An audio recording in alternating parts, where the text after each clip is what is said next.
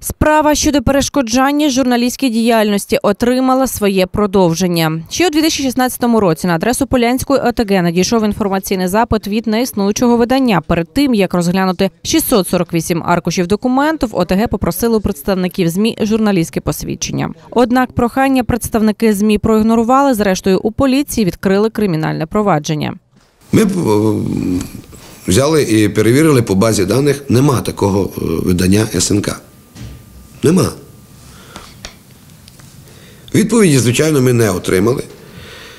630 сторінок тих тексту то у папках стоїть. Ми написали листа, що, будь ласка, приїдьте, дайте в бухгалтерію, заплатіть, тому що інакше ми вам не дамо тих 638 сторінок. Якщо ви є журналіст, ми б дали безплатно. І тут з прокуратури з'являється писулька. Що кримінальне провадження, ви порушили закон, ви е, журналісту перешкоджаєте в його діяльності. 630 сторінок, і до сьогоднішнього дня вони тут у нас знаходяться, вони нікому не потрібні були. Це говориться про те, що е, ніякої е, статті, там, ніякої е, публікації ніхто і не хотів робити. Хотіли просто загрузити роботою.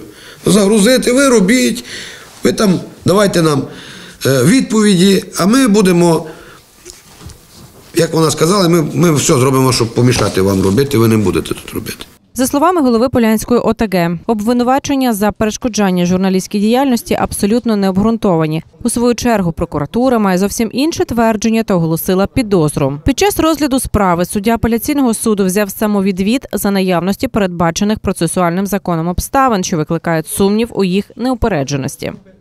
Я заявляю е, самовід е, від розгляду даного провадження з огляду на те, що е, з цих самих підстав заявлено мені відвід.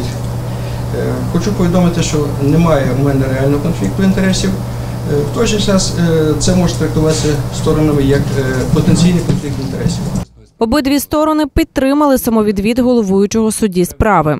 Ми не настоїмо на розгляді нашої заяви під відвід, а вашу заяву про самовідвід просимо задовольнити як, як обґрунтовану. Це абсолютно відповідає бангладорським принципам поведінки судді, і ми тільки вітаємо ваш такий мужній поступок. Підтримую вашу заяву про самовідвід та е, в принципі підтримую і е, заяву сторони захисту. На думку очільника Полянської ОТГ Івана Дрогобецького, самовідвід судді у розгляді справи ще раз доводить обвинувачення у його сторону абсолютно неправомірні.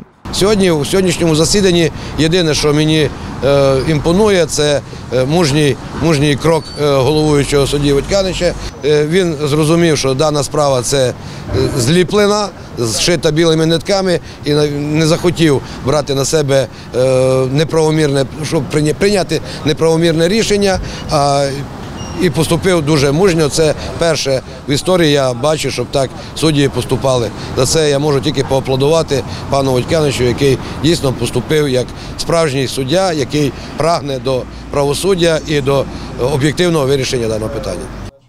Скільки ще триватиме судова тяганина, невідомо. Однак, за словами захисту обвинуваченого, вони і надалі будуть домагатися справедливості у розгляді справи.